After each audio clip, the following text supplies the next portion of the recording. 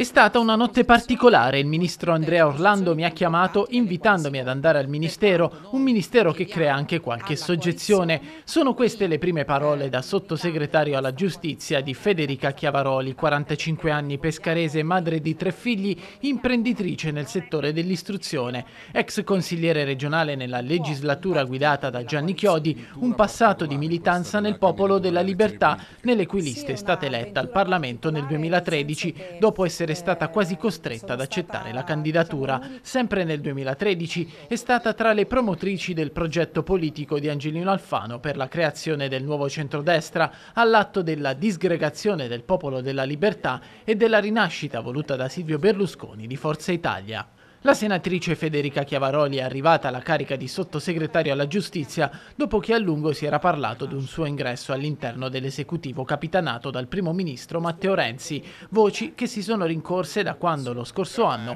l'allora ministro delle infrastrutture Maurizio Lupi, quota NCD, aveva rassegnato le dimissioni aprendo così i giochi di un rimpasto nel governo Renzi L'ingresso nell'esecutivo della Chiavaroli rafforza il ruolo abruzzese nell'amministrazione della giustizia italiana, dopo l'elezione di Giovanni Legnini in quota PD a vicepresidente del CSM, il Consiglio Superiore della Magistratura.